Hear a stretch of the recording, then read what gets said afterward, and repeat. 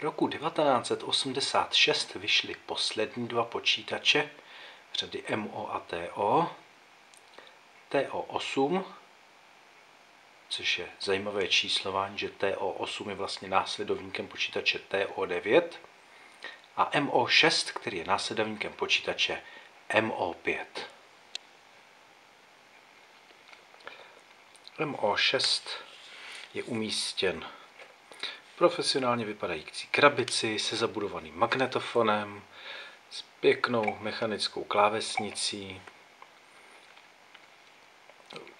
opět s procesorem Motorola 6809E, se slotem na kartridže kompatibilním s MO5, nepasují sem kartridže z řady TO.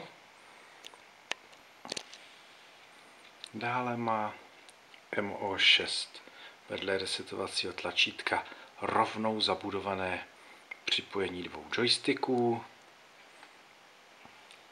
připojení světelného pera, připojení periferií, kompatibilní opět se sběrnicí MO5, připojení tiskárny, zvukový výstup a z kart pro RGB výstup.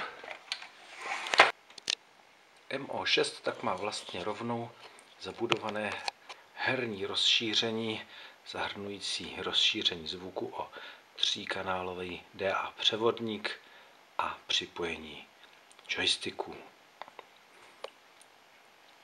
Je provedený pěkně, profesionálně, dobře se používá, víceméně je kompatibilní s MO5 s jednou výjimkou, nefunguje na něm hra Mandragore. Zajímavostí je na magnetofonu,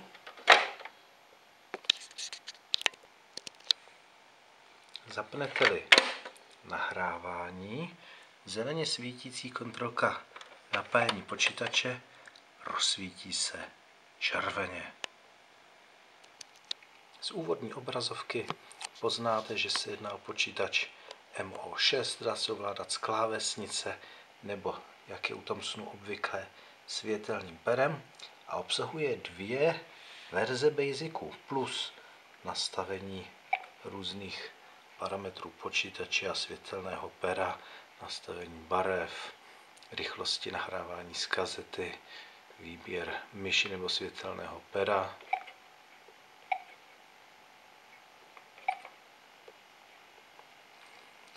proč dva basicy? Tak jednak je to proto, že Basic Microsoft 1.0 je Basic přesně kompatibilní s Basicem, který se nachází v MO5.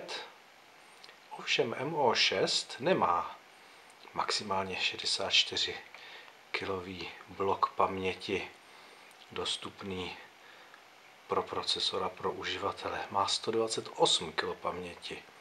A jak zabezpečit kompatibilitu? Jednoduše. Ponecháním původního basicu a jak zajistit možnost využití nových možností počítače a jeho rozšíření.